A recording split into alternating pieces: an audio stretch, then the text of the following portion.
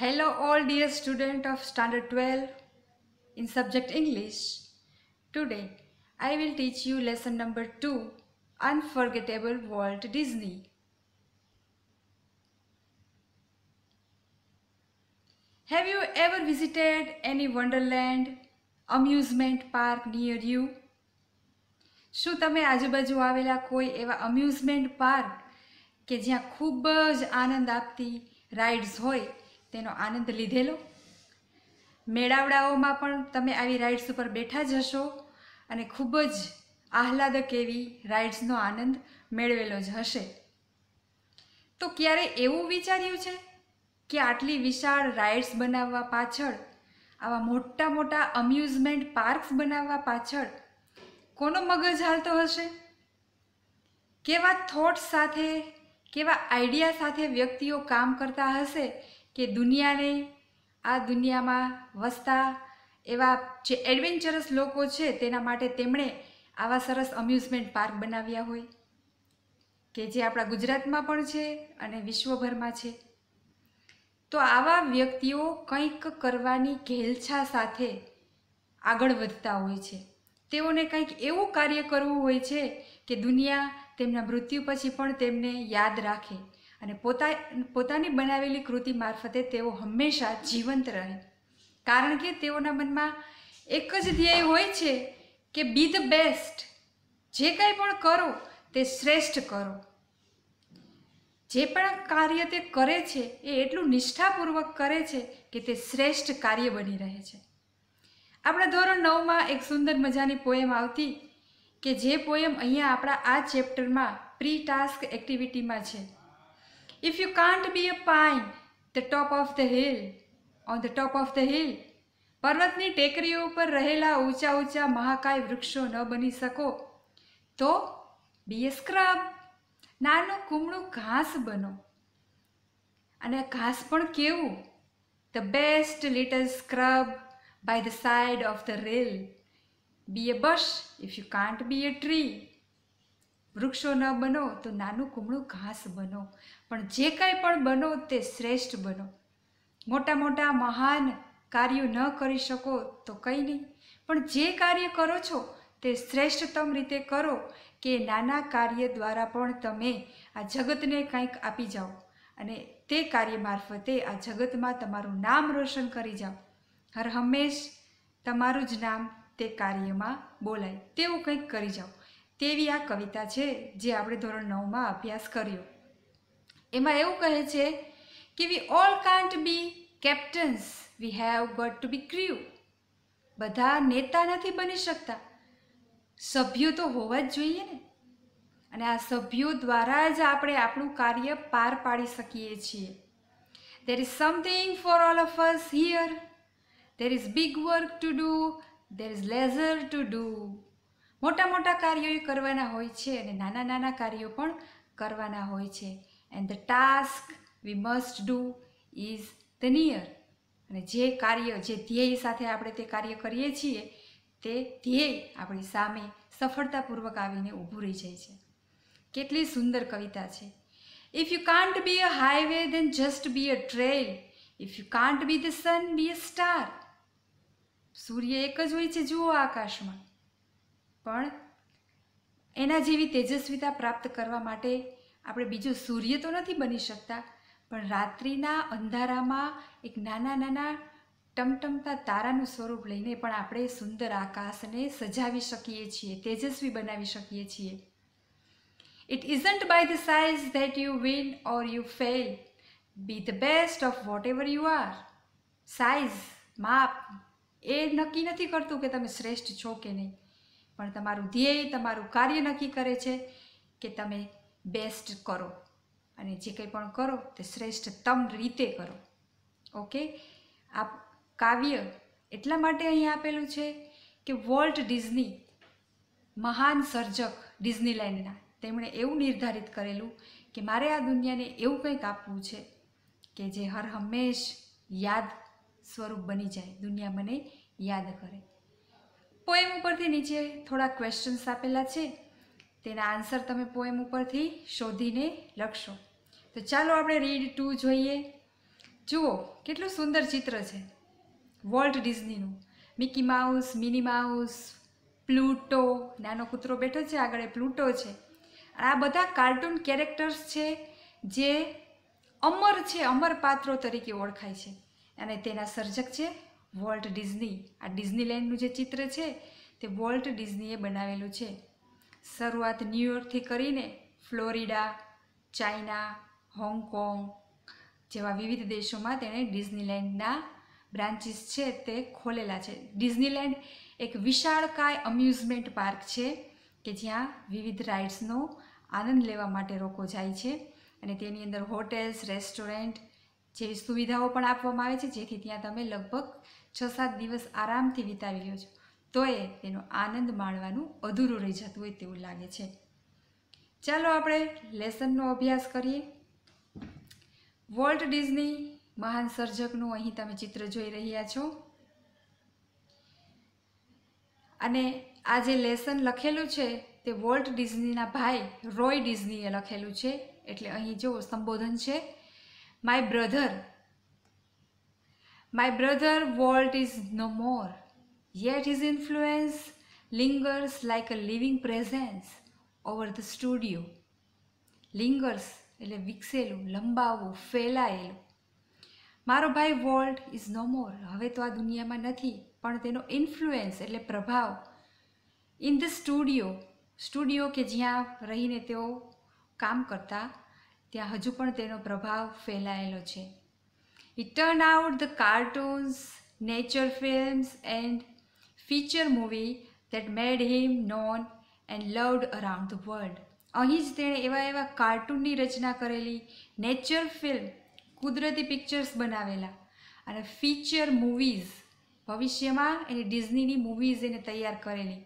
અહીં જ કે જે ખૂબ જ known and loved around the world આખી દુનિયામાં નોન એટલે પ્રસિદ્ધ છે અને લવડ એટલે સ્નેહ પામેલી છે even now as we walk around the studio crew આજે પણ જ્યારે અમે સ્ટુડિયોના ક્રૂ સાથે, સભ્યો સાથે લટાર લગાવીએ છીએ I half expect to encounter that tall country boy figure head bound in thoughts head મગજ બોર્ડ એટલે વિચારમાં, કંઈક વિચારમાં માથું નમાવીને બેઠેલો.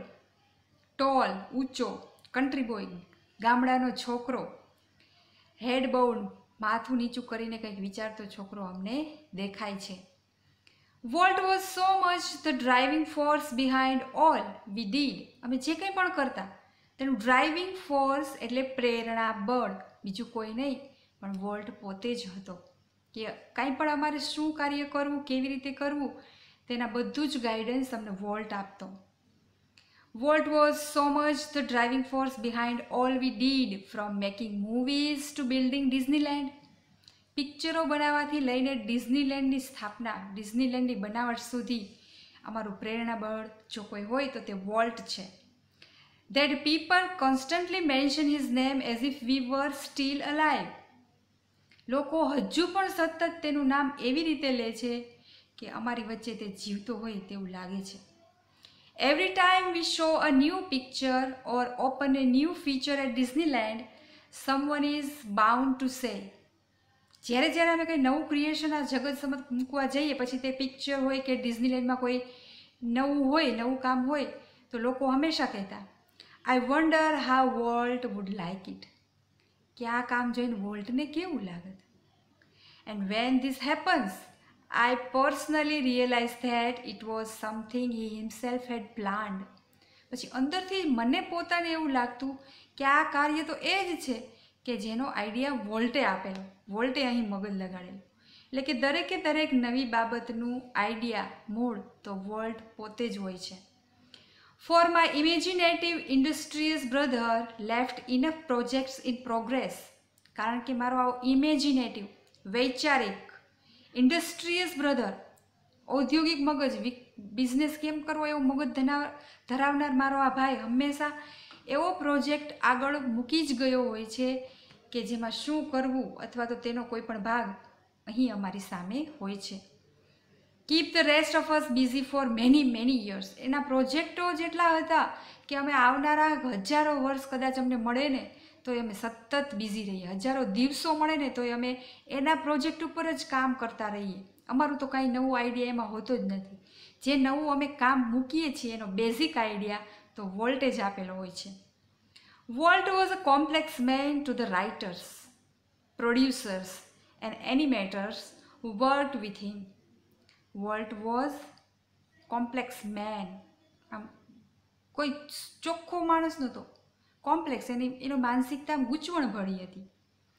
He to the writer producer and animator who work with him કે જે લેખકો, નિર્માતાઓ અને એનિમેટર કે જેઓ તેની સાથે કામ કરતા હી વોઝ જીનિયસ ખૂબ જ તેજસ્વી માણસ હતો who had an extraordinary ability to add an extra stroke of imagination to any story or idea. ગમે તે વાર્તા હોય, ગમે તે આઈડિયા લઈને લેખક તેની પાસે ગયો હોય, કોઈ નિર્માતા તેની પાસે ગયા હોય, તો વોલ્ટ એને પોતાની એક અભૂતપૂર્વ એક્સ્ટ્રા ઓર્ડિનરી બધાથી અલગ એવી ક્ષમતા એમાં ઉમેરી દેતો, એવો સ્ટ્રોક પોતાના આઈડિયાનો એક એવો સ્ટ્રોક એમાં મારી દેતો કે તે કામ છે એ અદ્ભુત બની જતું. To the millions of people who watch his TV shows જે લોકો ટીવીમાં એના શો આવતા મિકી માઉસના શો તો આપણે એ જોતા. He was a warm kindly personality ખૂબ જ પ્રેમાળ કાઇન્ડ દયાળુ પર્સનાલિટી હતી તેની. Bringing fun and pleasure into their homes કે જે ઘરે બેઠા પણ આપણને રમૂજી, આનંદ આપતો હતો. એના શો જોઈને આપણને ખૂબ જ આનંદ આવી જતો. પછી તે નાના હોય કે મોટા. હજી એ ટોમ એન્ડ જેરીનું કાર્ટૂન જોઈને આપણા દાદા દાદી પણ આનંદમાં આવી જાય છે. જોઈ જોઈને ખડખડાટ હસી પડે છે. I am sure he seem like a wild man hell bent ફોર bankruptcy. બેંક કરપ્ટસી કરપ્ટ બેંકને છેતરનાર એક ક્રૂર માણસ તો હતો જ. To me he was my amazing kid brother નાનકડો બાળક જેવો મારો ભાઈ હતો. ભલે તે પોતાના સપનાઓ સાકાર કરવા માટે ગમે તેવા કાર્યો કરતો, પણ મારા માટે તો મારો નાનો ભાઈ હતો. Full of impractical dreams that he made come true full of impractical એના સપનાઓ જે અત્યારે જ્યારે રજૂ કરતો, ત્યારે સપનાઓ કેવા હતા? ઇમ્પ્રેક્ટિકલ કે આપણે માન્યમાં જ ન હોય કે આ કામ આવું થઈ શકે. પણ હી મેડ કમ ટ્રુ તેણે સપનાઓ સાચા કરી બતાવ્યા. The apple orchard and weeping window stand green and beautiful at our old farm એનું પોતાનું ખેતર હતું ત્યાં એપલ ઓર્ચર્ડ એપલના વૃક્ષો અને વીપિંગ વિલો સ્ટેન્ડ ગ્રીન રડતું વિલો એટલે વાળાઓ, જાડી ઝાખરાઓ. તેણે તે ગ્રીન અને બ્યુટિફુલ બનાવી દીધા. Where Walt sketch is first animals અહીંયા આ ફાર્મમાં બેઠા બેઠા જેણે પોતાના પ્રાણીઓ, જે તમે જુઓ છો, પ્લુટો અને બિલ્લી, મિકી માઉસ, ઉંદર અને બિલાડીની રમતો, અહીંયા જેના સ્કેચ તૈયાર કરેલા. I recall how Walt and I would struggle together in bed and has the haunting whistle of a locomotive necessitating the night. હું અને વોલ્ટ કેવી રીતે સ્ટ્રગલ કરતા? પથારીમાં સૂતા સૂતા. કેવા હૃદયમાં અમારા હોન્ટિંગ વિશે સતત સિસ્કારીઓ વાગતી કે કેવી રીતે આગળ વધવું? Our uncle Mike was an engineer એમના કાકા માઇક એન્જિનિયર હતા he would blow his whistle તેઓ સિટી વગાડતા.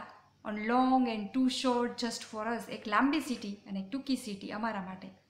Walt never lost his love for trains અને સિટી સિટી ક્યારેય વોલ્ટને એટલી ગમી જતી કે તે ક્યારેય ભૂલતો જ નહીં. Years later an old fashion train was one of the first attraction at Disneyland ડિઝનીલેન્ડમાં first attraction હતું વર્ષો જૂની આ લાકડાની બનેલી ટ્રેન જેમાં તેના અંકલ એન્જિનિયર હતા. આ લાકડાની ટ્રેન ડિઝનીલેન્ડનું મુખ્ય આકર્ષણ હજુ પણ છે. જ્યાં જ્યાં ડિઝનીલેન્ડ હશે, ત્યાં ત્યાં આ લાકડાની ટ્રેન હશે જ. આશા રાખું કે આ લેસન તમને આટલું સમજાઈ ગયું હશે. લેસનમાં આવતા અઘરા વર્ડ્સની નોંધ રાખવી અને જે જે વર્ડ તમને ન સમજાણા હોય, તે આપણે પછીના વિડીયોમાં જરૂર શીખીશું અને ઘરે તે શોધવા પ્રયત્ન કરવો. લેસન આટલું ખૂબ જ યાદ રાખવાનું છે. પહેલાં મેં તમને કીધું કે ટ્રુ ફોલ્સમાં પૂછાય છે. આ પેરેગ્રાફ જે આપણે ત્રણ જોયા તેમાં વોલ્ટનું કેરેક્ટર આવી જાય છે. વોલ્ટનું ડિસ્ક્રિપ્શન આવી જાય છે કે વોલ્ટ દેખાવમાં કેવો હતો, તેનો વિચારસરણી કેવી હતી, તે કેવો વિચાર ધરાવતો હતો, તેનું ડિસ્ક્રિપ્શન આ પેરેગ્રાફ્સમાં આવી જાય છે. એટલે એની એક શોર્ટ નોટ તૈયાર રાખજો. વોલ્ટ ડિઝની લખીને અને જે એક એક લાઈન છે તે ટ્રુ ફોલ્સ માટે તમારે યાદ રાખવાની છે. ટ્રુ ફોલ્સ માટે જરૂર પૂછાય જ છે. Thank you for watching